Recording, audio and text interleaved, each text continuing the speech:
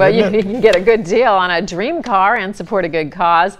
Liz Bonis joins us to explain. Liz. Hey, Paula, good afternoon once again. The Power is Teal T-Bird auction kicked off this week. For the next 10 days, you have a chance to drive real change. So this is the 1965 Teal Power T-Bird.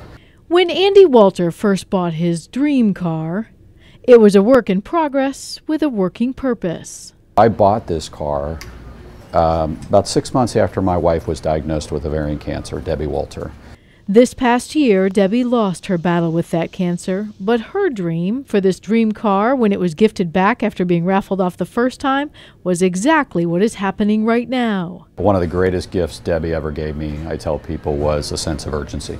The Teal Power T-Bird, as it's called, has just gone up for auction on the online site Everything But the House. It's the world's largest platform to liquidate personal property on. Part of the mission, however, is to raise money for a great cause, one that often doesn't have a lot of voices.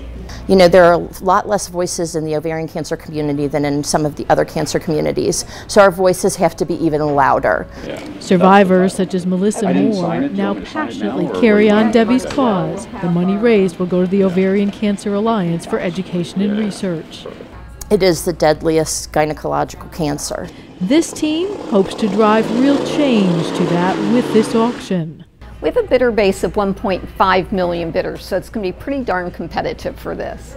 Quick reminder, bidding closes May 22nd.